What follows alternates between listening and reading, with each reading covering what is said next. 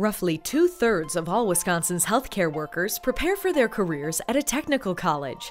It's no exaggeration, then, to say that our graduates keep Wisconsin physically and economically healthy.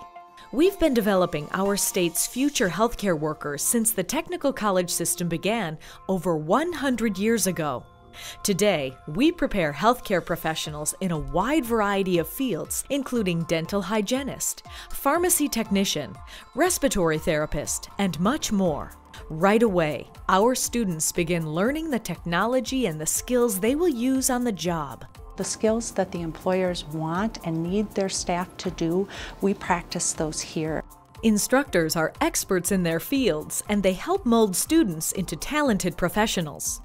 I can really tell the instructors want you to succeed. These instructors know both the work environment and the students' needs. They are truly dedicated to their students and invested in their success. The technical college is a very focused education. Technical colleges provide the latest technology and relevant learning opportunities.